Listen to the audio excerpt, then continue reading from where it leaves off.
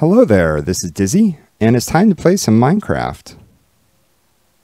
So today, uh, the the build that we're going to be doing is something I haven't seen anybody else do. Uh, I've actually I've seen one other people person do it on uh, on YouTube, and they did it in Creative. So uh, what I want to build is a forestry greenhouse. Now, this particular multi-block structure from forestry is uh, very powerful in that it lets you change the climate for a given area.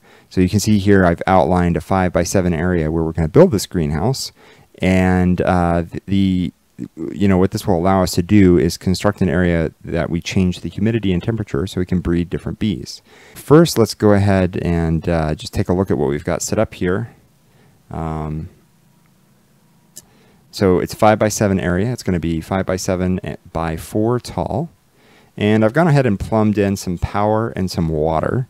Uh, you can see that I've got a, uh, uh a pump from Immersive Engineering, and then I've got a simple redstone conduit that's tied to this bee processing facility power. Um, so that's that's what we're going to use to power this thing. Now these these particular structures uh, with with you know a heater and a um, uh, with, with, a heater, for instance, uh, pulls about uh, 10 RF per tick. If you put multiple heaters in, I've seen it get up as high as 15. So they're they're not really that expensive to run, but you do need a steady power supply. Um, but they can they can really allow you to do some interesting things uh, with the bees. So uh, the next step now is for us to go up to the house and we're going to get some uh, pick up our materials. Um, you can see that this world uh, I've been playing in it for a little while, and uh, I've had a lot of fun. I'm using a custom mod pack that I that I designed with custom origin. That's forced me to uh, to play a little bit differently and spend a lot of time. Um, sort of touring the world and setting up logistics systems and so forth. So it's it's been a lot of fun. Uh, so let's just go into the house real quick and uh, take a look at the materials we need. First, let's take a look at the blocks that we're going to need before we take a look at the materials. So if we do a search for greenhouse, we can see there's a bunch of different blocks here. There's the a block, a glass, or a glass. There's input hatches. There's a gearbox for powering it.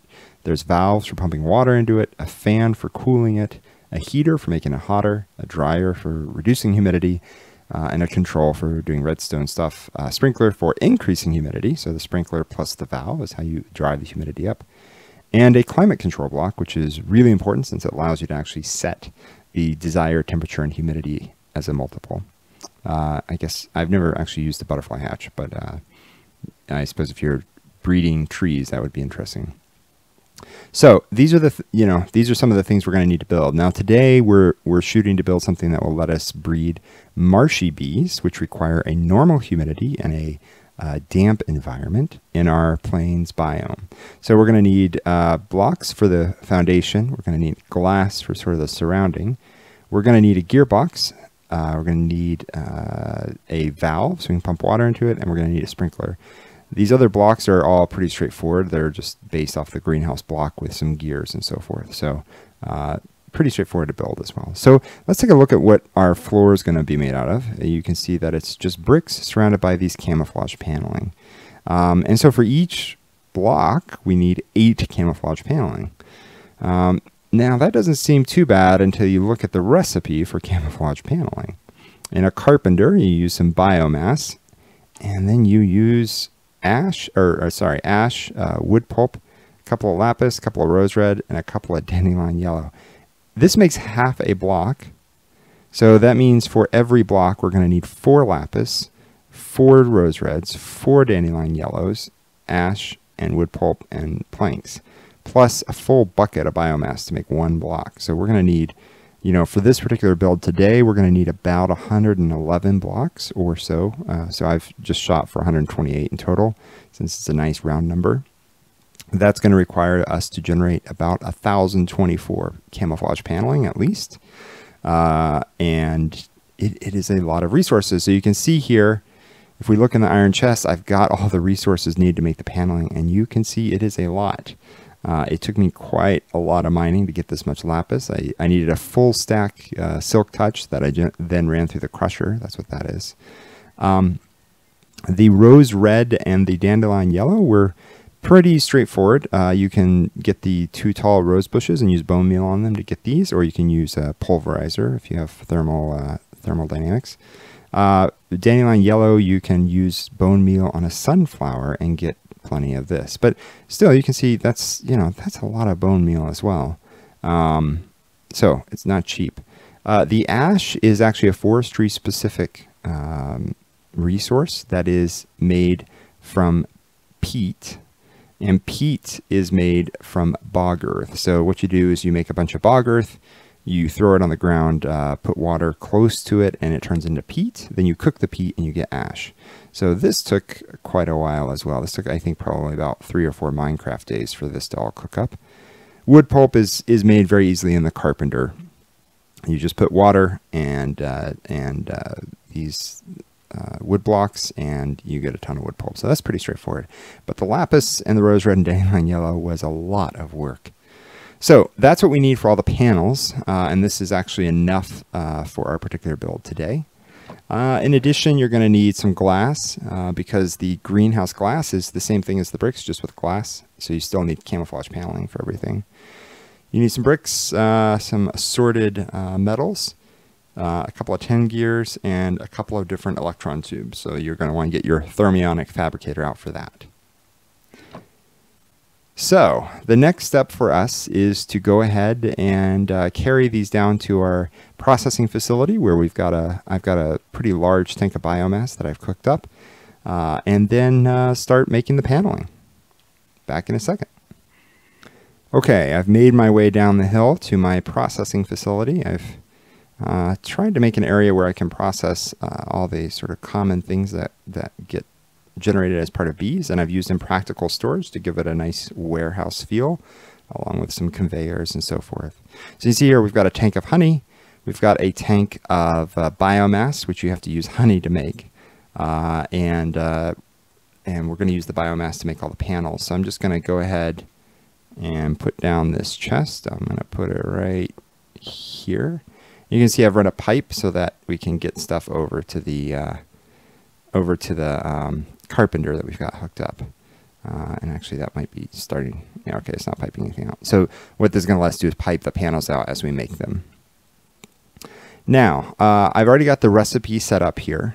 Um, I don't know why I used blue dye. I think I just used NEI to put it in. So let me go ahead and get some resources out of this chest. I'm just going to get two wood pulps, two ash, two dandelions, three of these, three of these, oh, one more of those. And then I need some wood as well, so let me turn this into a, some planks. All right, so let's load all this up. And that should enable it to, wait, did I forget something? Oh, yeah, the wood pulp. All right, that should enable us to start uh, generating the panels, and then as they're made, they'll get pumped out. Um, this particular process takes quite a while. Uh, we're making a thousand of these, which is, I think, something like 16 stacks. Um, so what I'm going to do is let this run for a while and then uh, come back and, and show you uh, once we have all the panels. Um, I think one thing of note here uh, before it gets totally dark is how I made the biomass. Uh, I set up this fermenter, uh, filled it up with honey and fertilizer, and then I set up a garden cloche for cactus uh, and pumped that into the fermenter. And that generates uh, biomass, which I then pumped into this tank. Um, but it uses a lot of honey. Uh, this took generating enough honey to make all the biomass we needed, because uh, we need about 128 buckets of biomass. Took a long while. Uh, I believe that the that the honey ratio to biomass is like 75%. So we need you know 100 plus buckets of honey to make uh, to make 128 buckets of, of biomass or something like that. So um, that's where we're at. It's getting dark now. I'm going to go sleep and let these cook up overnight. And uh, we'll come back when they're all done. It's going to be a while. Okay, be back in a few. Okay, we're back. And uh, we have generated our 16 uh, stacks of panels, and it actually worked out perfectly. I'm a little bit surprised at how well it worked out.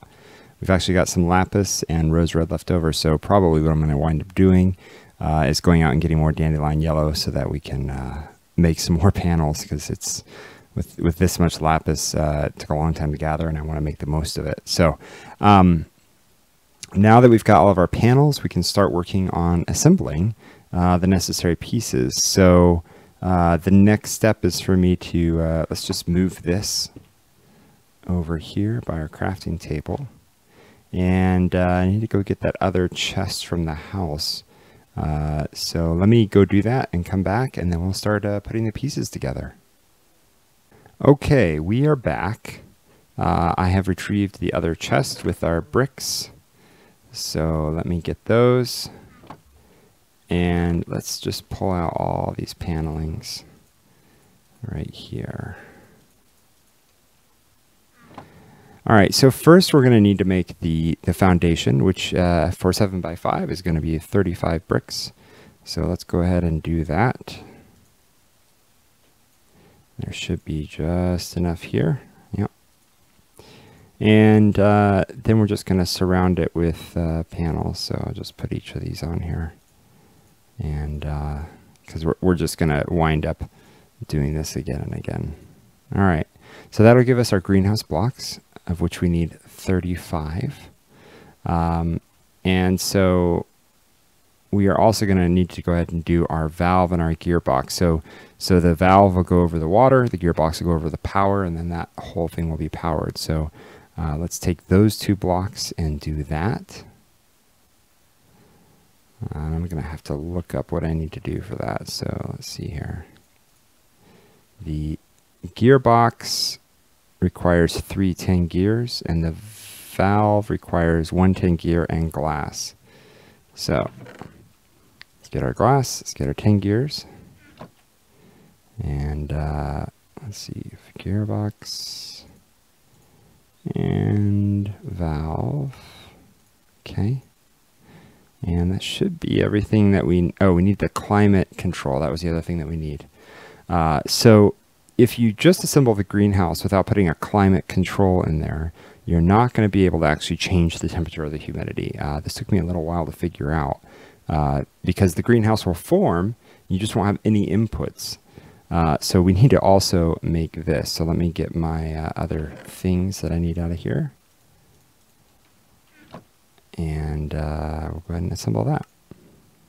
Okay, so those are the three blocks we're going to need for the uh, to to increase the humidity in this area for the marshy bees. So we should be all set at this point with that stuff. So let me just put these materials back away since I don't really need those anymore. And let's go put the floor in. Uh, let's see here. We're going to want the climate control and the valve and the gearbox. So let's do the gearbox first. We'll put it right there. We'll put the valve in next. And we'll put the climate control in as well. So the nice thing about this particular setup is that uh, you go into the greenhouse and uh, you know you'll have access to all these blocks. Um, you know I could put them on the edge, but I, this is just sort of the way the, the wiring and the water worked out. So I'm just going to go with it. Uh, oh, so let's put the rest of the floor in as well. And that will be the first part of this build uh, ready to go. And then we've just got to make all of our greenhouse glass, uh, the sprinkler, and the door. And we will have a full greenhouse. So uh, let me come back over here and make the greenhouse glass. Um, now, for this, we're going to need for the glass or for the walls, the, the glass walls, we're going to need 60 blocks. Uh, and then for the roof, we're going to need 16, so, seven, so 76 altogether. So let's go ahead and need more, more glass here. So let's just put all of these in place.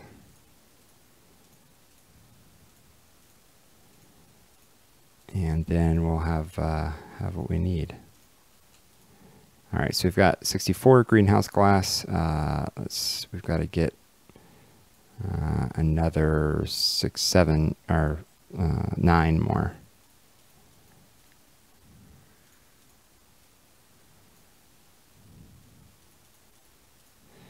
That should do the trick. Uh, famous last words. So let's go ahead and put this thing together. Now, uh, there's a couple of different it's pretty straightforward. You have to make sure that it's over over these blocks. Though now that I'm thinking about it, I wonder if there's a way to avoid that. But we'll we'll do it this way for now, uh, since I know this works, and that's kind of where we want to be. I'm going to leave space for the door there, and then we just want to put these in here. And as you can see, it's not going to be a lot of space in there. Uh, it's just enough room really for the apiary, um, which is, you know, that that's sufficient for our purposes. Um, but if you wanted to build a bigger one of these, you would need a lot of resources. Uh, there might be an optimization we could do that would let us uh, save some save some blocks, but it wouldn't help that much. So we're going to make it uh, three tall, and then the roof will be the fourth level. Uh, and we're going to set the roof up in a in a way that saves us some blocks as well. Um, let's see here. All right, so there is that.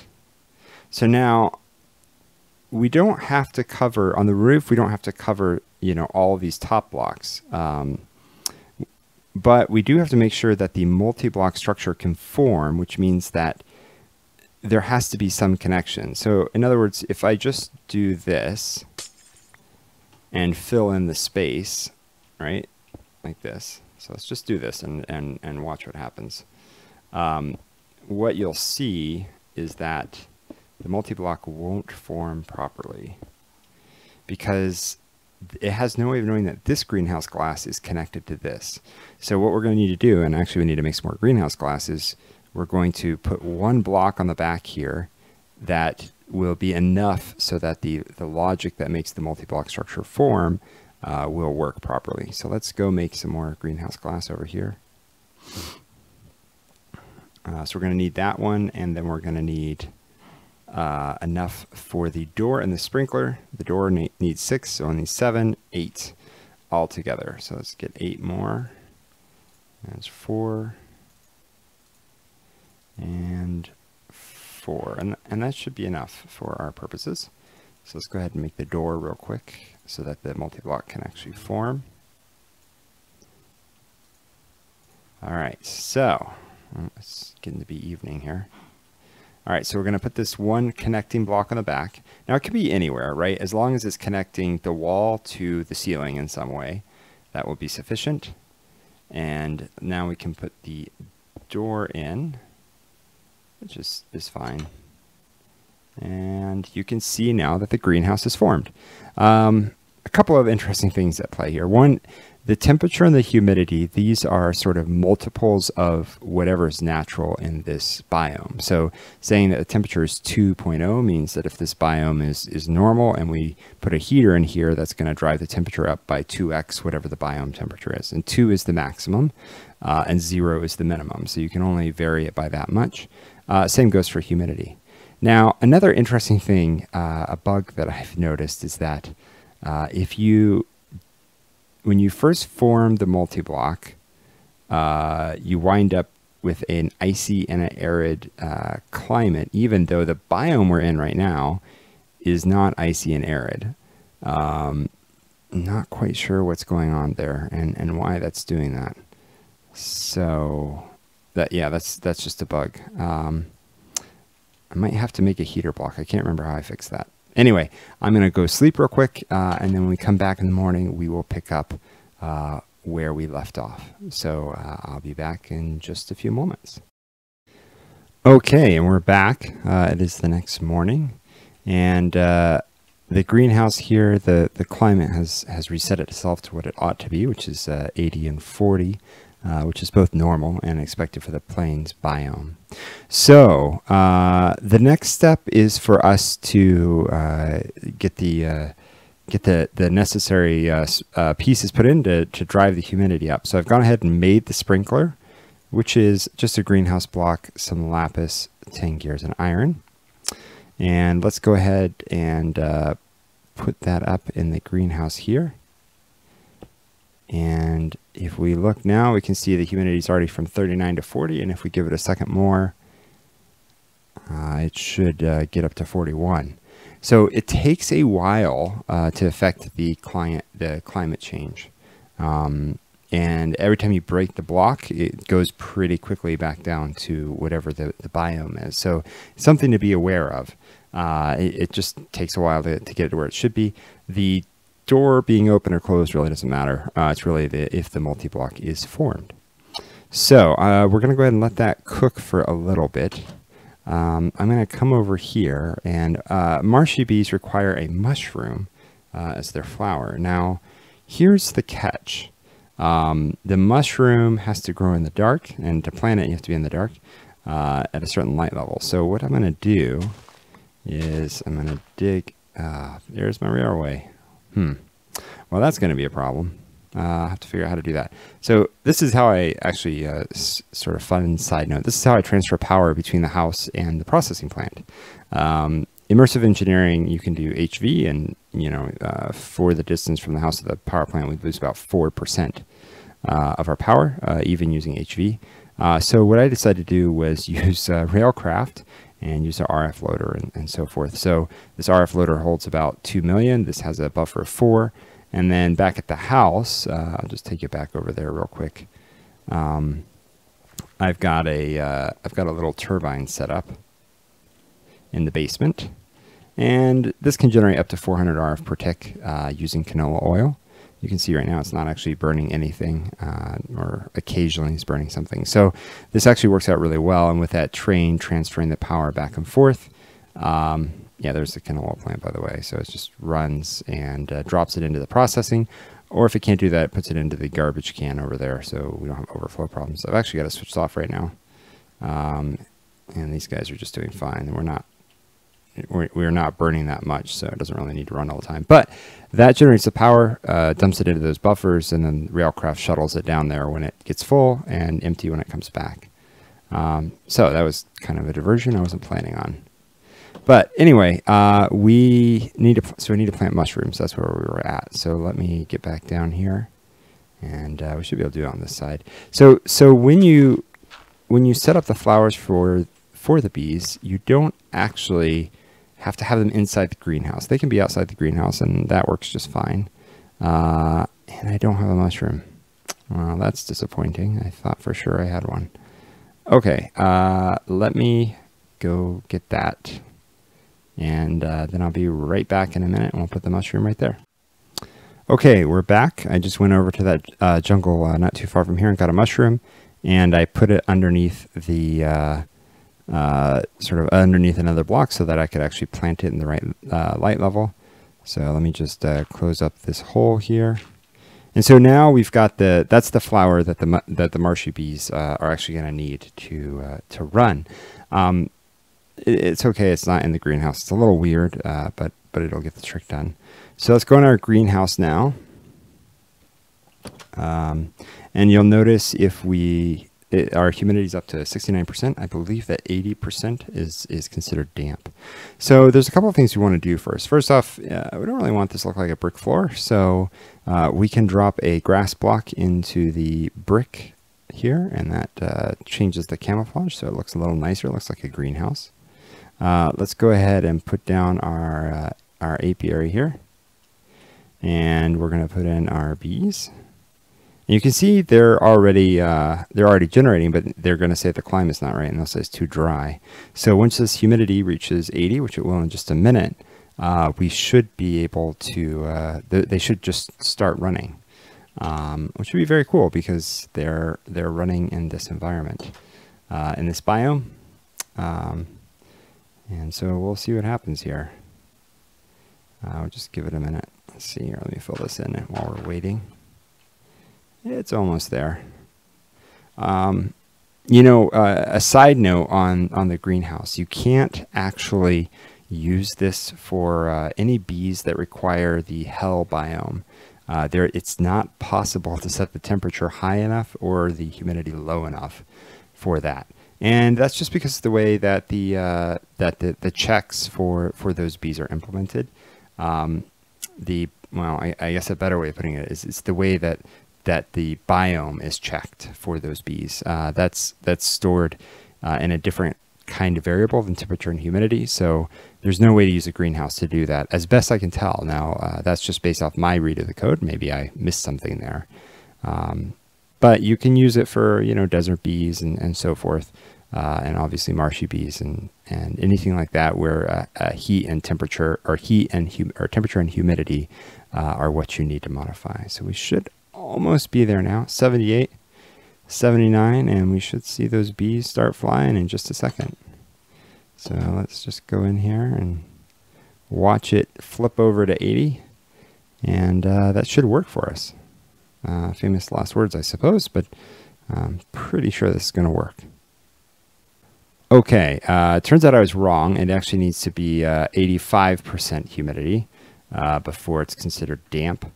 Um, but you can see the bees are running. Our Marshy Queen is running and sending out little uh, little drones to get stuff. Uh, and we're doing this in the middle of a plains biome. So uh, it's a it's a pretty cool setup. Um, it's small.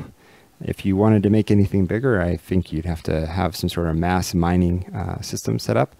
Um, it can be done by hand, but it's very expensive. It's it's you know the other part of this is that I'm the alvearies, you can do a lot of the climate control as well for the bees. So just strictly for bees, I don't think the greenhouse makes sense as it's currently balanced. Uh, it's just too expensive to do.